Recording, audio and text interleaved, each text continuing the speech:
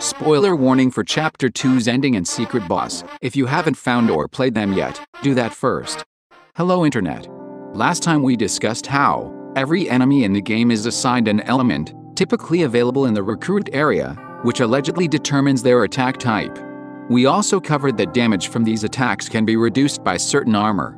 Though Spamton cannot be recruited, the armor which defends against his attacks also reduces damage done by Tasque and Tasque Manager we are able to recruit those two and see that their elements overlap at cat. And in the code all three are using element 6 as the element for their bullets. Therefore element 6, Spamton's element, must be cat.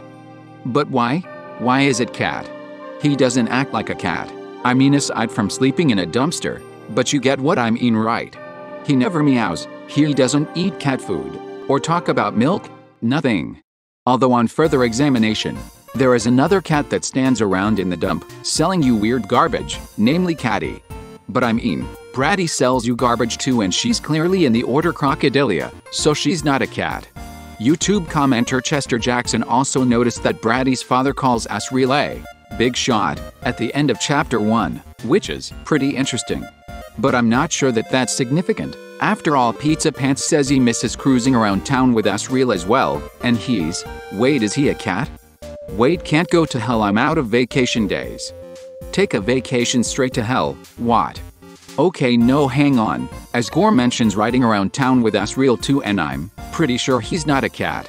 So this is probably just a coincidence. Actually, this is probably a good time for a reminder. Before we dive recklessly into this mystery, please remember to be on your guard. We are theory crafting Deltarune in a time when only the first two chapters are available, since chapters 3 through 7 aren't out yet. Remember that there is a danger in theorizing before one has all the information, mainly in the temptation to twist facts to suit theories, rather than theories to suit facts. So please, stay light on your feet, because we're going to be considering and discarding a ton of ideas here. Try not to get too attached to any of them, and please don't fight with other people about these. A friendly spar is fine but try to mind each other's feelings and keep it civil, alright? Theory 1. Spamton's real-life item contains cat. At first I thought maybe Spamton's real-life equivalent, this bin full of junk mail, had a picture of a cat in it, like an ad for cat food or something. Or maybe Catti's older sister threw something in the recycle bin, and some of her cat fur was mixed into the spam, affecting Spamton's code. But that's really stretching, and honestly if that were the case I'd expect to see some hint of it somewhere. Besides, I've been looking into it further, and it seems like only his Neo form uses cat as its element. None of Spamton's attacks when you fight him the first time in this alley are cat. So if there's a physical cat object in the real world, granting him this element it's not on the recycle bin. Theory 2. His Neo body is cat. Since this element is only present in his Neo form, perhaps Spamton's Neo body is cat related. So this begs the question, what exactly is he possessing? The game refers to this as an old rundown machine. Seam seems to think this is where Spamton found the Shadow Crystal, and he says that it must have been important to a certain Lightner. If we examine his Neo form we can see that Spamton's body has a pink palette, including a skirt, white shoes, and a yellow and pink staff-like object which he uses to fire Pipis. In later releases of Undertale we meet Mad Mew Mew, a robot owned by Alphys who also happens to be pink, with a skirt, white shoes, and have a yellow and pink staff. If this were the Mew Mew robot it would explain why his element becomes cat. In addition, should you fight Mad Mew Mew in a pacifist run, you can find them later saying, You thought you could stop me from using this body? Ha! I may be in pieces, but I still gotta be myself. Your days are numbered, Mew. Since Mad Mew Mew never actually fights you after threatening you like this, Spamton Neo being Spamton Mew Mew would give closure to the Switch run of Undertale. This wouldn't be the first reference to Deltarune added by a later version of Undertale, and since Mad Dummy does exist in this version of the game, and does seem pretty angry and unfulfilled it would make sense. It also explains why Spamton is transferred into the animatronic limited edition Mew Mew machine using a disc, and why Mad Dummy's dreams were ruined by being unable to obtain one. It's limited edition after all. On the other hand, when we talk to Swatch about this, he says that That robot was the embodiment of a Lightner's dream. A dream I helped create, once. Splashing color from the motion of their hand. The Lightner filled it with their own hope, giving it an incredible power. But, in the end, Nothing ever came of it. And it was left in the basement with the rest of the corrupted data. This seems to imply that the robot wasn't a physical object but a piece of data, like an image file or something. Swatch themselves seems to be a reference to a color changing tool in a program like Paint or Photoshop, so it seems unlikely this is the physical Mew Mew doll hiding in like the closet or something. Besides, if this were the Mew Mew doll, I'd expect it to use the Mew Mew motif in the Big Shot theme, or at least have a tail or cat ears. The currently prevailing theory regarding this thing is that it was a design idea, sketched out by Mettaton. It would explain the wings, the darker pink purple color, and the Mettaton style yellow sole and shootable bullets. Although Alphys did have bullets like that as well in Undertale, it seems unlikely that she would have spent a bunch of time editing an image of Mew Mew on the library computer. Although not impossible since she does have a teacher's salary. Theory 3 Spamton is a glitchy guy. Spamton himself identifies as a Pipis person. Pipis is a misspelling of Bitpis, the word Toby uses to describe glitches and errors, especially in his code. Spamton already showcases this concept in his glitchy sprites and when he speaks. In particular, his sentences seem to lag or jump. Sometimes entire words are missing from sentences, leaving big spaces where they should be, and some of his words are in brackets or appear to be redacted entirely. All the armor that guards against Cat has glitchiness about it too. The frayed bowtie displays a completely different name when it's in the shop, and it doesn't list any kind of elemental defense at all when checked, even though it definitely does reduce damage from element 6. The dummy isn't even meant to be armor and only Kris can equip it, almost like it's a glitch. The deal maker, Spamton's glasses, are constantly changing color and flickering like TV static when he wears them. So Spamton, a glitch, guy, might be cat type in the same way that Missingno, a glitch Pokemon is bird type. For those who don't know, Missingno is a very famous series of easy to encounter glitch Pokemon from Generation 1 of Pokemon. The most common one, found in Cinnabar, had broken graphics, absurd stats and for some reason it was listed as bird type. Even the bird wasn't even a type in those games, although flying was. Missingno was also famous for corrupting the data of items, amongst other things, which might explain why the items you get from Spamton are so glitchy and offer resistance to this element. Perhaps his being in contact with them corrupted them. Although this theory doesn't fully explain the dummy, maybe it was one of his possessions that was taken when he was evicted? Either way, he does have some special interactions with it if you bring him in the form of the loaded disk. Theory 4 Element 6 is more than just cat. Maybe I'm going about this backwards. Instead of understanding why Spamton is this element, maybe we need to take a harder look at the elements themselves, and element 6 in particular. Okay, what do we know about the elements so far? While enemies list their elements in the recruit screen, right now most of them don't implement those elements in any meaningful way. The only attacks that have an element as of time of recording are actually those that use element 6, Spamton, Tasque, and Tasque Manager. It might be that Toby hasn't finished implementing it yet, or perhaps he's easing into it now and plans for it to become more widespread in the next chapters. That said, there are several pieces of armor that code for some of the elements, and using those, we can learn a little bit more about the other elements. Element 7 is Mouse. The monsters which listed are Mouse, Mouse Wheel, and Jigsaw. Although their attacks don't yet code for elemental damage, there is a piece of armor which codes to defend against it, and that's Mouse Token which offers 50% reduction against the Mouse type. However, it doesn't seem to list this in the check data. Actually, the check data looks glitchy too, so I'm not surprised it hasn't been implemented yet. Element 0 is coded for a few times, in particular it seems to be the default element, as bullets in the overworld call the set element to zero function. Element 1 is odd. It's found in the sky mantle, and it's supposed to deflect 50% of all electric and holy damage. Wait, two things? That's pretty weird. I can see it in the code though. It sets armor element to 1 and sets damage reduction by 0.5 or 50%. For a moment I thought this was just translation weirdness, perhaps this is like in Chrono Trigger? In Chrono Trigger, Chrono's element is listed in Japanese as ten, which is a word that describes both heaven and the sky. As a result, his attacks vary from lightning to life spell, complete with a little angel, to a wind-like slash attack. Because we don't have that word in English, it got localized to lightning, and then later to light so I figured maybe the sky mantle was doing the same here, and its element was just 10. Uh that's not the symbol for 10. Those are the symbols for den, electric, and psi, holy. Weird. I haven't seen holy yet, but electric comes up a few times, in particular it's listed for Ambyu-Lance, Tasque, wear wire, Maus, and Werewerewire. If later there's a holy enemy that does holy damage, and then, when the elements are more thoroughly implemented, they do both indeed share the element 1, as stated by the sky mantle data, then that would make electric and holy a sort of yin and yang, two halves of the same whole that make up element 1. And if that's true then perhaps cat will have another element it overlaps with as well.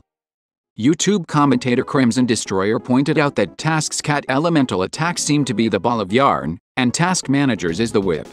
Balls of yarn are made of string, and whips are basically long weaponized strings, so maybe the secondary element will be string. This seems to line up, but double checking the code and gameplay it would appear the Quizbox also does cat damage, as do the Sonic attacks.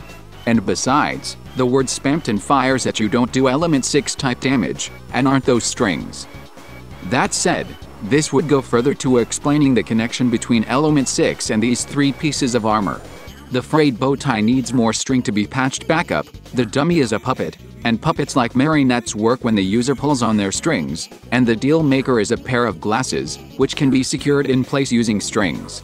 Removing the strings from the element makes the armor feel like more of a stretch. I could say a frayed bow tie is a good toy for a cat, and the dummy a good scratch post but the deal maker. I got nothing. If we imagine cats have some sort of elemental yin and yang with something like puppet or string, it kind of makes me wonder about the wider implications of that element. Aside from Seam, a cat doll literally stitched together, I've noticed the two cat enemies are living in the mansion with the queen, sort of like the upper class, but they're doing so as servants to her. This might mean that thematically speaking, element 6 refers to both your class status and the dichotomy between freedom and servitude. Cats do, after all, act like royalty even when they're strays. And that actually would pan with Spamton, acting like he's a big shot before he actually becomes one. The cat-related characters in the overworld also seem to have a lot of connections to the concepts of community, family, and close relationships. For example, Catti who tries to disconnect from others in school, finds her family following her and cheering her on at work, which is sort of an inverse reflect of Spamton, who feels abandoned and alone at the bottom of a dumpster. The number 6 might be a Homestuck reference as well, since in that, two threes are used to represent cats, and adding two threes together gives you 6. In Undertale, 6 is used quite a bit as well, mainly for Oh. Oh no. No. No. No. No. No. Resigns I. Theory 6. It's Gaster. Okay so, I know the internet's sick of Gaster, and Gaster theories but look, you don't understand. Gaster uses the number 6 so much, you guys. It's in the fun value to summon his followers. In the value for the sound check room. It's in the value to summon this door. There's a 6 in the room number for these wingding text things. And all of Gaster's stats including his enemy ID, his attack, defense, EXP, gold, everything. Just so many sixes. Alright for the uninitiated, Gaster is a scientist who is only mentioned when certain conditions are met in Undertale. There's a secret number in your game's save file, called the fun value that changes randomly, and certain numbers, usually containing sixes, will summon NPCs or events that refer to him.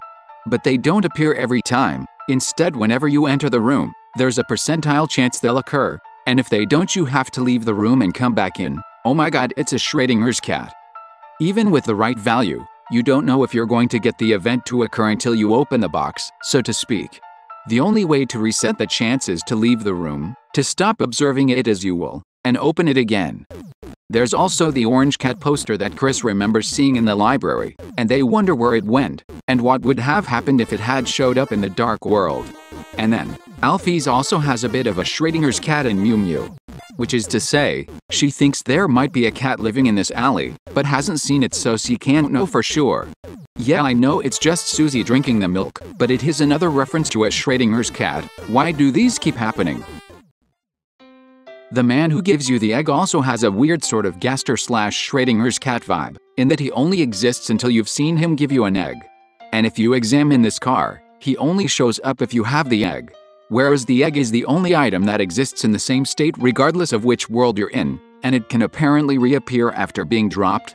Geez, all these items, events, and characters appearing and disappearing without a trace. This one even smiling as it fades away like a Cheshire cat. Oh no you guys, you know what else is like a Cheshire cat?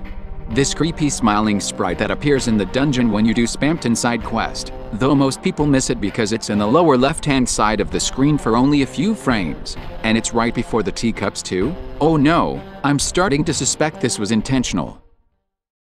Okay, alright.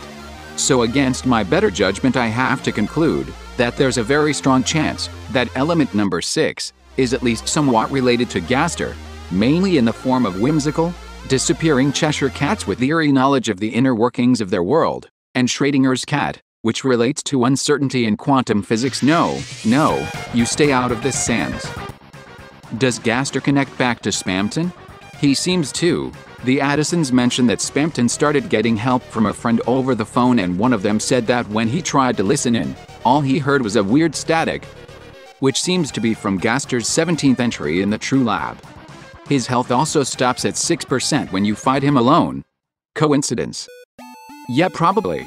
You have to understand the more I look into this and think about it, the more complicated this gets. And like, no one is forcing me to go down here, but just the knowledge that there is more to find has me hostage. It's like when Sans says because you can, you have to.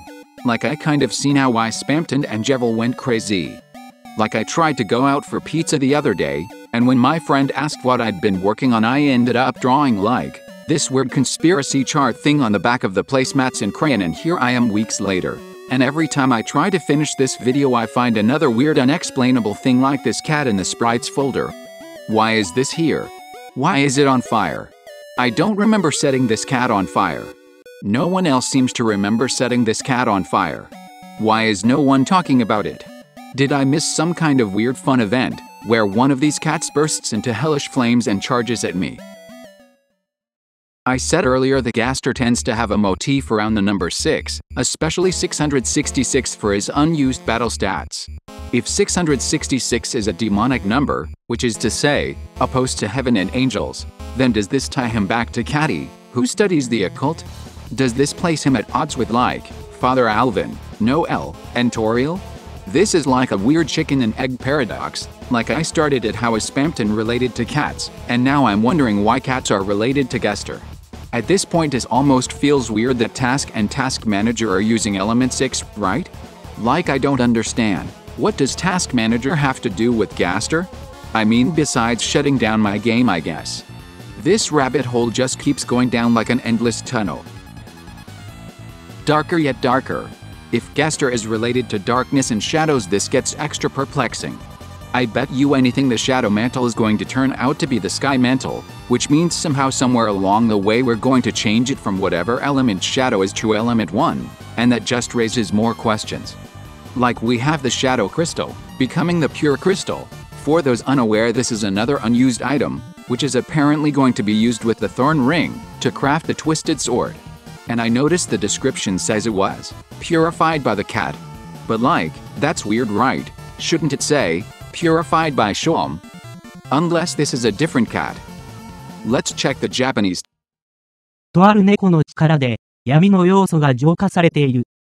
Shadow purified by a certain cat's power. Yet. Okay. That clarified nothing. I'm going to have to call it quits while I still have some of my sanity left. What do you guys think? What is element 6? Is it really just the element for meow cats? Is it the element of darkness, strings, uncertainty? Maybe it has duality with chaos and thus Jevil? Heck if I know.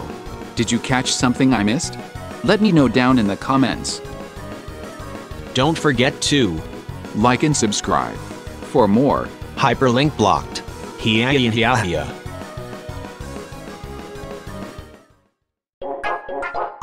Great enemy. Subscribe now.